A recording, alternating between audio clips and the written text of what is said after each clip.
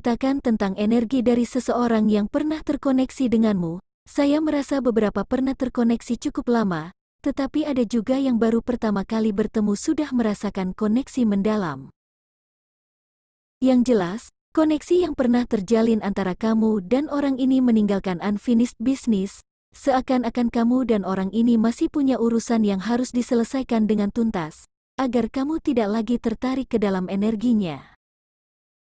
Orang yang pernah dekat denganmu ini merasa kesepian, sendirian, masih peduli, dan tidak bisa berhenti memikirkanmu, banyak konflik dalam pikirannya, otaknya penuh dengan overthinking, obsesi, terlalu menganalisa, dan negative thinking, artinya banyak konflik di antara kamu dan orang ini yang menimbulkan semua pikiran tadi.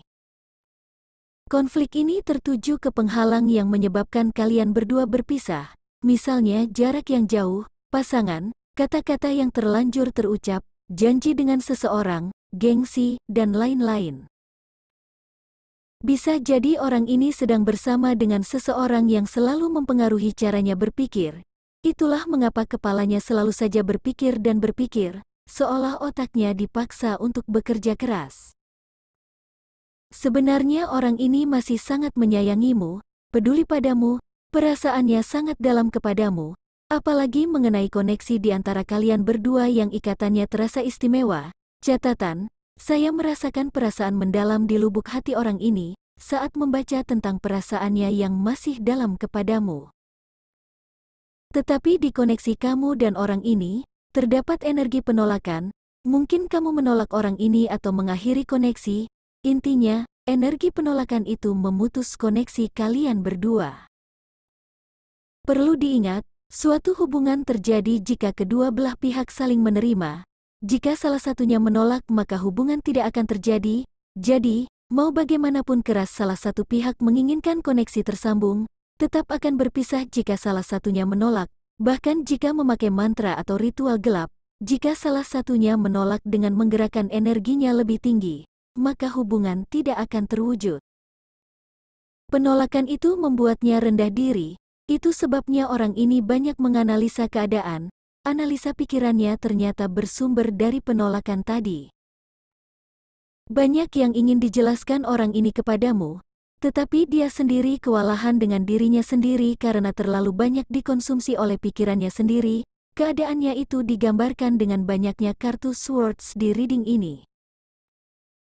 Adapun hal yang membuatnya tidak bisa melupakanmu adalah hasrat kalian berdua yang sama, sama-sama saling menyukai dengan perasaan mendalam dan bergairah, Beberapa mungkin berulang kali putus sambung atau sering berantem, tetapi selalu saja kembali lagi. Semua itu disebabkan tarikan gairah antara kamu dan orang ini yang setara.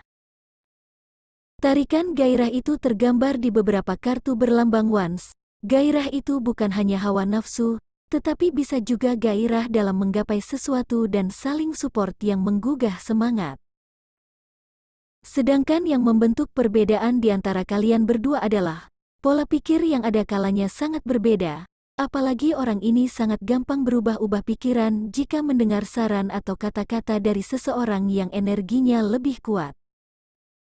Sama seperti saat ini, setelah berpisah atau di masa perpisahan, pikirannya banyak dipengaruhi oleh seseorang. Sangat terasa orang ini terblokir oleh negatif thinking, ketakutan, cemas dan gelisah, hingga ego selalu melarangnya membuka komunikasi agar urusan di antara kalian berdua selesai. Bagi kamu, koneksi di antara kalian berdua mungkin selesai, tetapi bagi orang ini urusan perasaannya kepadamu belum selesai. Dari kartu terbaca, kamu yang terkoneksi dengan orang ini sedang fokus pada dirimu sendiri, fokus pada proses penyembuhan dan healing, energimu tampak sedang bersih-bersih agar jiwamu kembali cerah, kamu mungkin tidak menyadari selama kamu dengan orang ini, pola pikirnya yang sering sekali terblokir oleh energi negatif, mempengaruhi energimu.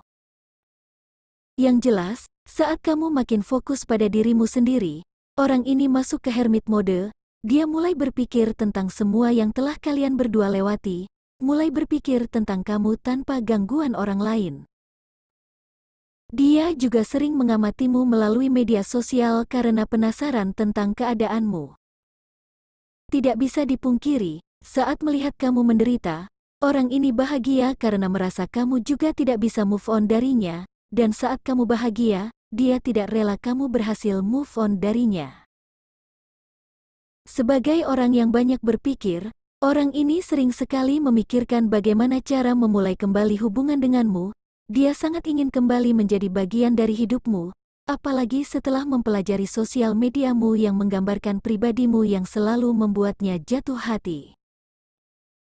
Semakin sering memikirkan dan memperhatikan media sosialmu, dia menyadari perasaannya kepadamu ternyata begitu dalam, kamu tidak pernah bisa keluar dari hatinya. Kadang-kadang orang ini merasa kamu adalah hatinya karena kamu sangat susah dikeluarkan dari hati dan pikirannya. Kesadaran tentang dirinya sendiri hanya bisa dirasakannya saat bersamamu. Orang ini sadar hanya saat bersamamu lah dia menjadi dirinya sendiri. Ketika kalian berpisah dia merasa bukan dirinya. Beberapa yang resonet mungkin bertemu hanya sekali, tetapi orang ini bisa merasakan kesadaran utuh pada saat terjadi pertemuan, itu sebabnya orang ini tidak bisa berhenti memikirkanmu. Chemistry di antara kalian berdua juga sangat kuat. Chemistry itu membangkitkan semua hasrat dan potensi dalam dirinya, seolah-olah dia bisa menjadi apa pun yang dia inginkan, atau dia merasa bisa mewujudkan keinginannya dan keinginanmu. Semua perasaan itu hanya pernah dirasakannya saat bersamamu. Orang ini pernah bersama dengan orang lain atau saat ini sedang bersama orang lain, tetapi sering merasa kehilangan dirinya sendiri. Itu sebabnya di awal reading energinya terasa kesepian dan sendirian. Beratnya beban hidup membuat orang ini selalu dalam mode sibuk mengurus orang lain dan mengejar sesuatu di luar dirinya sendiri. Tidak heran dia tidak pernah berhenti memikirkanmu karena hanya kamu yang bisa mengembalikan dirinya yang sebenarnya. Dia bahkan bisa merasakan gairah yang sudah lama hilang dalam dirinya saat bersamamu. Saya mencoba menarik kartu After Tarot untuk membaca apa yang akan terjadi selanjutnya pada orang ini, dan dari kartu-kartu terbaca adalah, orang ini akan mengalami puncak dari semua overthinking dan overanalisa yang selalu ada di kepalanya. Kenyataan atau kebenaran akan memukul keras kesadarannya bahwa memang hanya kamulah tujuan hidupnya di dunia ini, hanya kamu yang bisa membantunya menemukan hasrat besar yang ada dalam dirinya. Kamu adalah support sistem terbesar dan terkuat yang seharusnya ada di sisinya bukan orang lain, tetapi semua kesadaran itu juga melemahkannya, karena dia tidak menemukan cara bagaimana memulai kembali hubungan denganmu. Tidak bisa menemukan cara atau jalan itulah yang membuat orang ini benar-benar tidak berdaya. Walaupun dia sering menghibur dirinya dengan berbagai penyangkalan, tetap saja kenyataan yang ada dalam perasaannya melumpuhkannya. Catatan, saya merasakan sesuatu yang kuat. Orang yang kamu pikirkan ini sudah terlanjur berjanji dengan orang lain.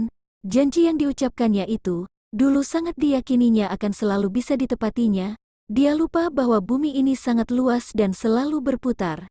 Keyakinan bisa menepati janji itu teruji pada saat orang yang kamu pikirkan ini harus meningkatkan jiwanya yang terpicu oleh kehadiranmu.